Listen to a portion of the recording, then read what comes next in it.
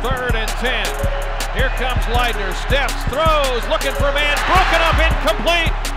Clayton Fejedelem in the tailback. Oliver, the quarterback, is going to give it to his tailback, running straight ahead. Justin Jackson. Tommy Armstrong out of the gun. Here comes the rush.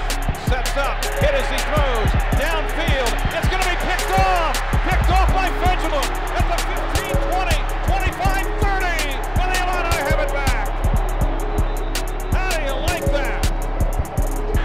Looking to throw. Keys it to the end zone. It is picked off. Illinois with the interception in the back of the end zone. The Illini turn him away again at the gate. It's Clayton Fejedelem with the pick this time. Receiver either side. They send a man in motion. Brandon Polk. And here is the handoff to Polk running right. And he is pulled down for a loss. Good pursuit. Blau with the direct snap to him. Runs it left, trying to get the first down, and Nope. does not. He's not going to get it. Clayton Fejedelem drops him for a loss. Leidner claps his hands together. Here comes the rush. Sets, throws, pass broken up by Fejedelem, trying to hit the receiver at about the 48, and Fedge with a terrific play.